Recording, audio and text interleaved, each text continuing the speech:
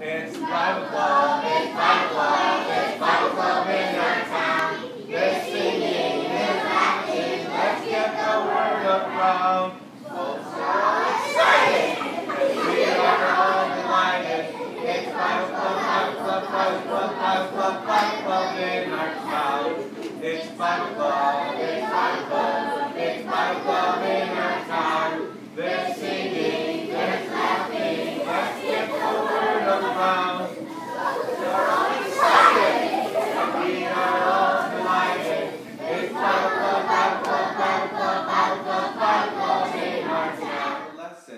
comes from Romans chapter 7.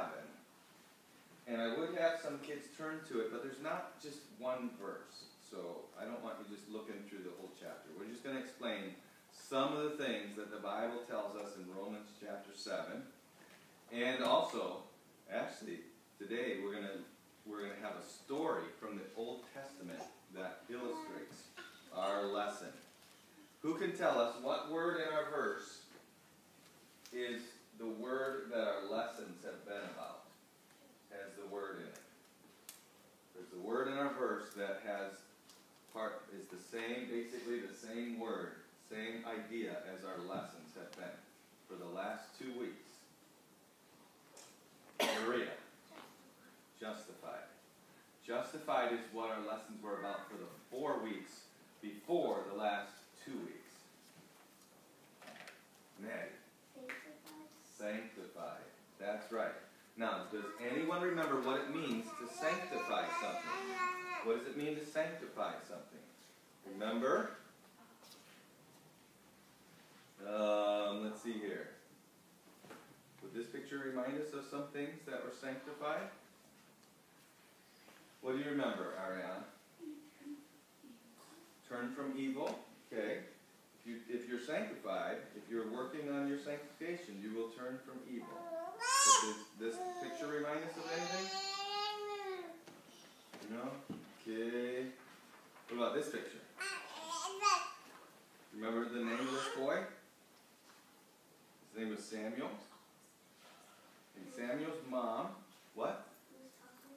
He was talking to God. And where did he live? Did he live with his mom and dad? No. His, because his mom prayed for him, right? And said that if if God would give her a son, she would give that son to God, right? And so she set she set Samuel apart, right? Right? She sanctified him by sending him to the tabernacle, and he lived there at the tabernacle. And these guys were priests, right?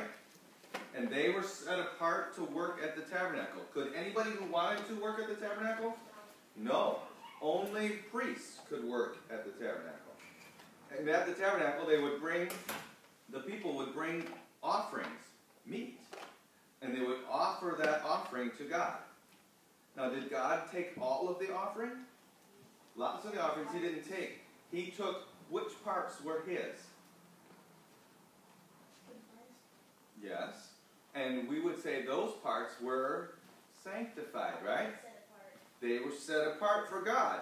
But these men, they did what they wanted, didn't they? They took God's part for themselves. Yeah? Well, the other parts were good, but they wanted God's part. And they were punished for that.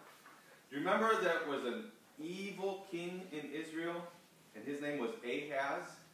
And Ahaz set up idols all over. Last week we talked about how he set up idols all over Jerusalem. And he closed the doors of the temple. What was the temple? The temple was the place that was set apart. It was sanctified to worship God in, right? And he closed the door. Said nobody can go in the temple because he didn't he didn't love God. He loved his idols. He even took the furniture from the temple and broke it into pieces. Right? And but then the next king came along. His name was King Hezekiah, and he said to the priests and the Levites, he said, Sanctify yourselves, right? Set yourselves apart. Make sure that you're able. And then sanctify the temple. Clean it up. If it's set apart for God, it needs to be clean, doesn't it? We don't want the place for God to be full of garbage and just animals running around, living there and all, right? So they, they, clean, they set apart the temple and they set themselves apart. And then they began to worship God. And then they showed, all the people came to, to celebrate and to worship God. And they showed that they had set themselves apart for God by uh, destroying the evil things that had come into their city, right? They went and they broke down those idols. Well, the Apostle Paul, in the book of Romans, our lessons have come from Romans, and they're teaching us about sanctification. The Apostle Paul, he tells us that when we're justified, and justified is part of what happens when we're saved. When we turn to Christ in, re, in repentance and faith and believe on Christ, we are saved. We are justified, and we are sanctified. When we come to Jesus, when we come, when we turn to Jesus, God looks at us as if we are righteous. That's part of justification, right? He says that person's righteous, not because of what we have done, but because of what Jesus has done. But he also looks at that person and says, You are sanctified, right? But you're washed, but ye are sanctified, but ye are justified. So every person who is justified is also sanctified. But there's another part of sanctification. If we're set apart by God, God says, You're set apart for me. Can we, we still have our own will inside of us, don't we? Even though we're sanctified, we could go and do something that's wrong, couldn't we? Even though the temple was set apart for God, they could still do bad things in the temple, couldn't they? Yeah. And so, even, and, and we can too, because we have our own mind, and we have our own hands, we have our own heart, our own will, and we could, I could, I could go and do something wrong, couldn't I? Even though I trusted in Jesus and He has saved me, I could still do something wrong, couldn't I? God has sanctified me. He set me apart. I'm supposed to serve Him. But I could do what I want, couldn't I? And every day, inside of every single person who has turned to Christ, there is kind of like a battle in our mind. We know we should do right, but then there's us. And we and the devil tempts us. And we like sometimes we want to do wrong instead of do what's right. Paul, the Apostle Paul, who wrote the book of Romans, told us about that in chapter 7 of Romans. He talks about how he wants to do what's right, but sometimes he still does what's wrong. And these pictures here kind of illustrate that. Whenever Paul obeyed the Holy Spirit, it's like the Holy Spirit, by the Spirit of our God, the Holy Spirit filled his whole life. And everything he did was like what Jesus would do if he were here. But sometimes he did what he wanted. See how this heart is gray and even there's a little, we can see the Holy Spirit. The Holy Spirit is still in, in Paul, still in those that believe him. But people don't see much of the Holy Spirit, do they? Not if we're doing what we want. When we do what we want, people don't see much of God in us. People don't see much of the Holy Spirit. When we obey the Holy Spirit, when we say, I'm going to, God has set me apart for Him, so I'm going to do what He says, then people see God. People see the Holy Spirit. People see us living like Jesus would. And each of us, each of us who's been justified, each person who is saved, is supposed to be living a sanctified life. They should be doing, obeying the Holy Spirit.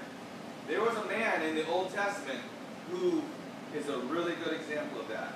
In fact, the Bible tells us his story, and his name was Daniel. Does anybody know somebody named Daniel? My second name is Daniel. So I think I was halfway named after this man. My first name is not Daniel. My second name is Daniel. And Daniel, long time ago, not long after Hezekiah had set the um, they they had set the temple back up, maybe I don't know, 50 or 60 years after that, the people of Israel went back to worshiping idols, and God sent the, an enemy army in and he destroyed Jerusalem and he captured many people from Israel. And Daniel was one of the people that became a captive. He couldn't stay at home anymore. He had to go live with the Babylonians and a bunch of other people like Daniel. Daniel was a young man. He was probably 15 or 16 years old. How old did you say you were? Yeah, could you imagine in two years somebody coming in here and just taking you away and you have to go live in another country? That's what Daniel had to do. And several other people, several other young men Daniel's age, because the people that captured them thought, they they look like strong young men. They might even talk to them a little bit and said, they're pretty smart young men. We want them to work for us in our government. And so the Babylonians took these men, Daniel, and he had some friends with him, and then a bunch of other people just like him, and they took them to Babylon and wanted to teach them all about Babylon. Now, Jerusalem, where Daniel was from, is where the real, true God was worshipped. Do you think they worshiped the real God in Babylon? They worshiped idols. And Daniel, they changed. They even changed his name. They didn't want Daniel to think about God. They wanted Daniel to think about their gods. They call him Belteshazzar. Yeah, yeah. And Daniel's three friends, Hananiah, uh, Azariah, they called them Shadrach, Meshach, and Abednego. They just gave them different names, tried, started to teach them all the things about Babylon and all the things that they knew, and also fed them with the king's food. And the king, the king of Babylon, he did he worship God? No, he worshipped idols. So he would offer, he would offer the food to the idol, and then they would feed, they would eat it.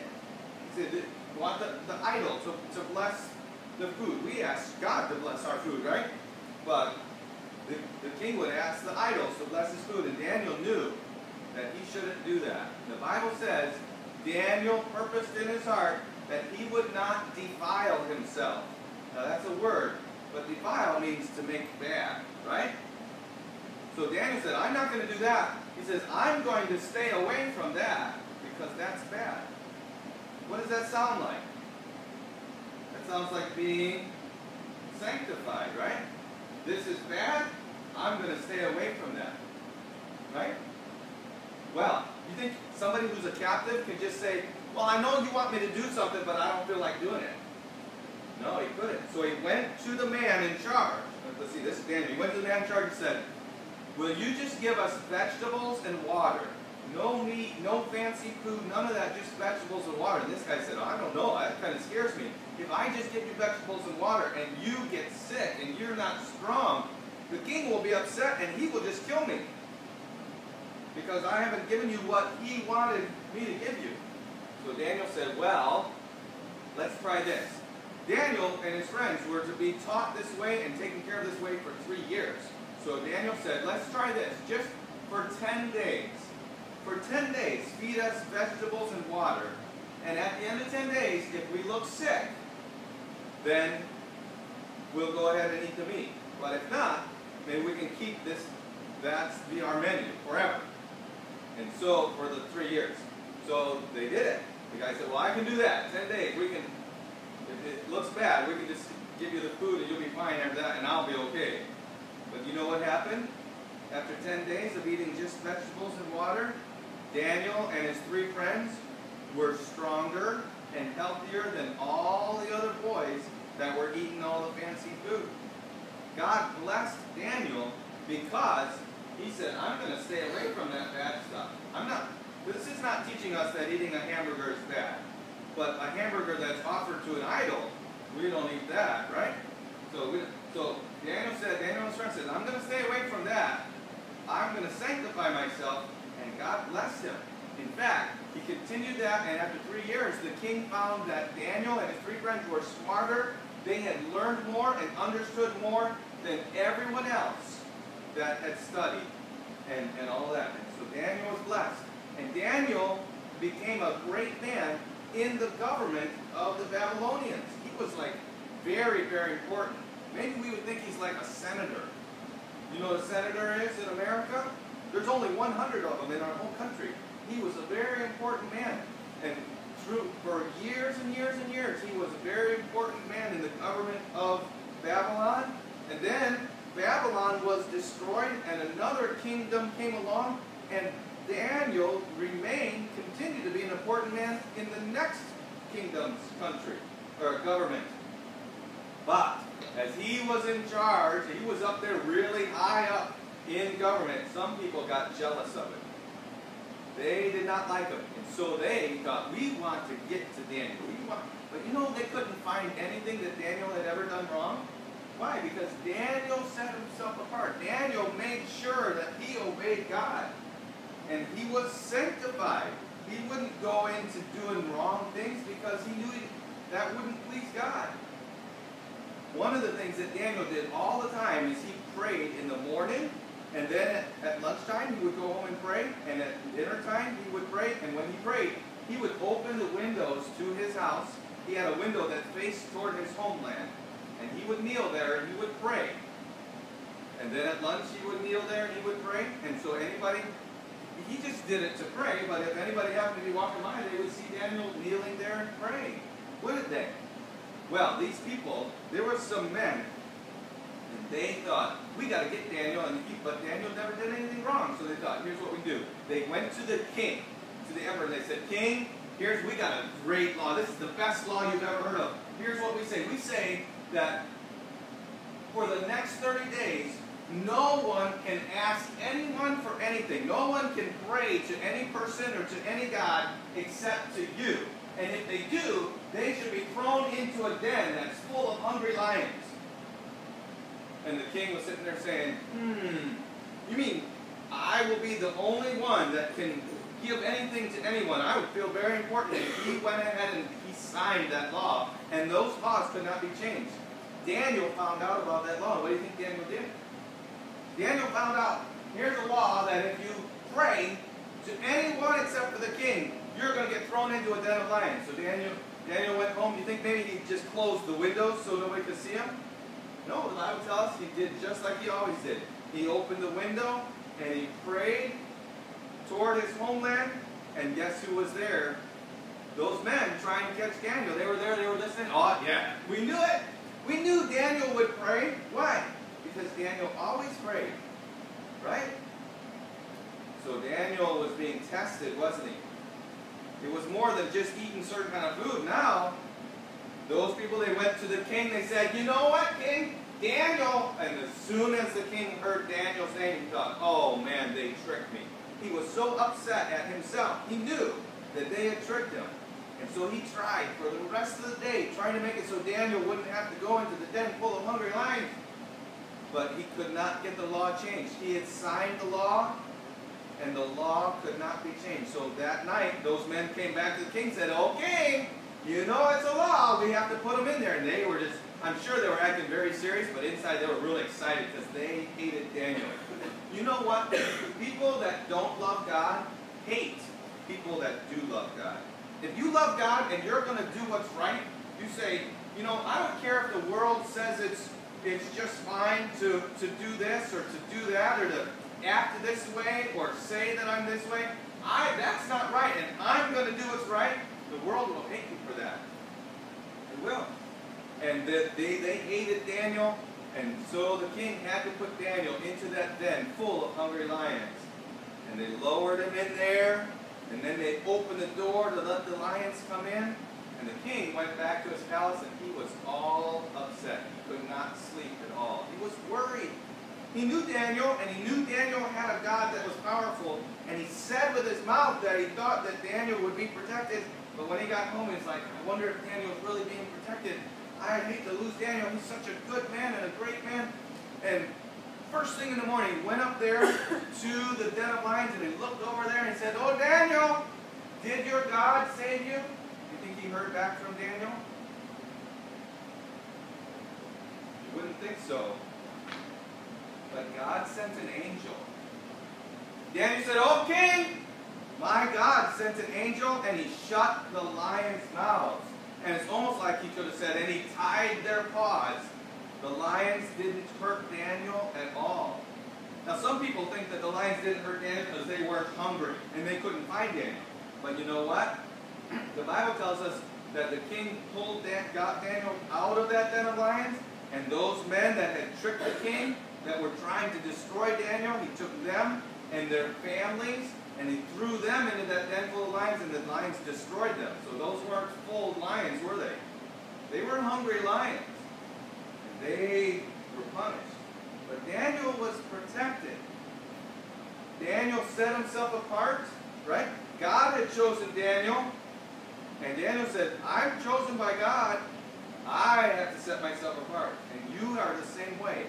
If you are justified, if you are saved, if you have trusted in Jesus, if you believed on Jesus and turned from your sin, God has justified you and He has sanctified you. He set you apart. You shouldn't just go and do anything that the world wants you to do. You shouldn't do anything, things that you know are wrong. You say, I'm not going to do that. Why am I not going to do that? Because you just won't do that because you think you're you're a goody two shoes or you're a you're a you're a pious pious poop or whatever, right? But is that why we don't do things? We don't do those things because God has sanctified us, because we're saved. If you're saved, if Jesus has saved you, there's some things you shouldn't do. And it would be good. Some of you, I think, are understanding what I'm saying. You ought to think about some things that maybe you're often think about and you thought, ah, I don't know if I really should do that. If you don't know if you really should do that, you should not do it. It's better not better to be make a mistake not doing something, right? Than to just go ahead and do it because oh everybody else is doing it and it's really not something that sets you apart for God, is it? We should try to live. If we're if you have trusted Christ, if you've believed on Jesus, you should live a separated a set apart, a sanctified life for God.